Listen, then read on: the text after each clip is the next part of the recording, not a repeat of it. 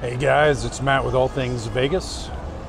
Welcome to my YouTube channel. Here I cover all things going on in Las Vegas, including casinos, entertainment, and sports. I'm also a vlogger and journalist. I'll be doing lots of coverage each week and most days, uh, breaking news, uh, nightlife, you name it. If tourists are interested in it, we're going to be talking about it and covering it, including uh, convention centers.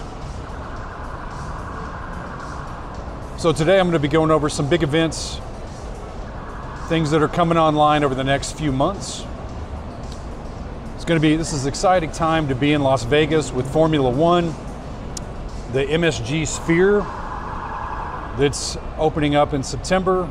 We got Fontainebleau to talk about. I'll talk about current events going on this week for the following seven days. Today is Sunday, August 20th, 2023. And we'll also talk about some of the conventions going on. So let's get to the Formula One update.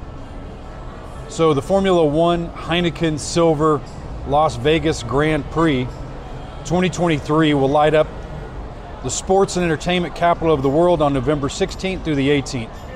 In a city where world class hospitality is always at the forefront, Las Vegas Grand Prix will redefine the formula fan experience, delivering an unmatched atmosphere at any ticket level. And they are expensive, we'll get into that. For locals, I would like to go, but I was just reading on the Formula One website. They're highly recommending taking a rideshare, service to one of the designated drop off locations closest to your assigned zone. While the majority of resort properties on the strip will have available parking on site, it's important to note that any resort located within the circuit will require a pass or proof of reservation. So you have to have proof that you got a room, you got a restaurant reservation, or a show reservation for entry. If you choose to drive, please take note of the traffic shifts. Obviously, there's going to be huge delays.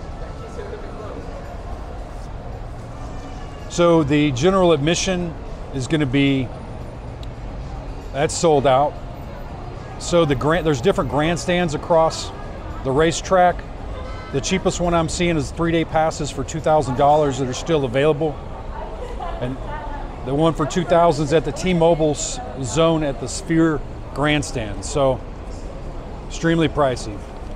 Let's talk about the Fontainebleau Hotel that's going to be opening up. The Fontainebleau Las Vegas is a new resort slated to open in December 2023. The resort will be the tallest building on the Las Vegas Strip with a total of 67 different floors. It is located basically across the street from the Circus Circus Casino. Fontainebleau's proposed features include 173,000 square foot casino and 3,600 plus hotel rooms. The 90,000 square foot retail area will cover two floors and include approximately 3,500 high-end retailers. The result will have a focus on conferences, taking advantage of its location near the Las Vegas Convention Center. The property will have more than 550,000 square feet of meeting space. The property is also expected to feature entertainment options, including a 30, excuse me, a 3,800 square feet performing theater, nightclub, and a day club on the ninth floor that will be about six acres. Wow. Let's talk about the Sphere at the Venetian Resort, previously referred to as the MSG or Madison Square Garden. Sphere is a sphere, it's a spherical music and entertainment arena near the Las Vegas Strip. It's just east of the Venetian Resort. It's set to open on September 29, 2023, with U2 performing a 25 show residency called U2 UV Achtung Baby live at the Sphere. I don't even want to look at, well, it's already sold out, so uh, who knows what the secondary market prices are going to be.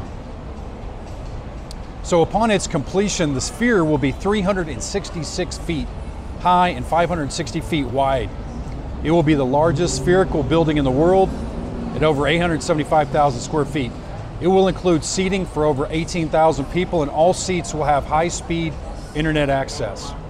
Haptic technology is incorporated in 10,000 of the venue seats. Seating does not wrap around the entire Sphere, instead covering approximately two-thirds of the interior, while the stage takes up the remainder. The venue can accommodate up to 20,000 people in standing capacity.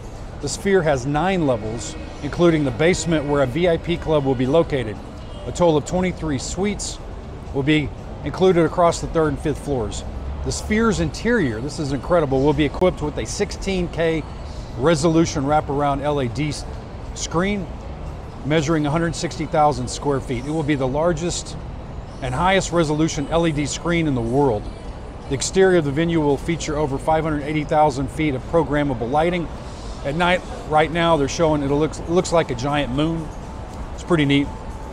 And they can also put holiday themes, obviously, whatever they want. The Sphere will feature a spatial audio system based on Holoplot's X1 speaker module, which uses beam forming and wave field synthesis technologies and is equipped with 96 drivers each. The sound system will comprise 1,600 X1 speakers and will be installed behind the LED panels along with 300 mobile modules for a total of 167 speaker drivers. The sound system will also deliver through the floorboards. 4D features including scent and wind will also be used. The arena will primarily host award shows and concerts in, in addition to other entertainment events. Though not designed to fit a traditional arena layout for sports such as basketball and hockey, it can also host ring sports such as boxing, mixed martial arts, and esports tournaments. So, what's going on this week? So, August 20th through the 27th, Actually, August 25th, we get Bruno Mars is at the Park MGM Las Vegas. August 25th, we, for comedy, we've got Jim Gaffigan, the Dark Pale Tour. Also, August 25th, the National Stock, Stock Horse Association Futurity Derby. And August 25th, the B 52s at the Venetian Resort Las Vegas. I may try to go to that and cover that as well. Great band from the 80s. So this week, let's go over the conventions real quick. August 20th through the 24th, we have VMware at the Venetian Resort Las Vegas. August 23rd through the 24th, you've got the Whiskey, Craft and Spirits Conference and Expo at the Mirage Hotel and Casino. August 23rd through the 27th, they have RollerCon for roller skating enthusiasts. RollerCon 2023 see where that's at.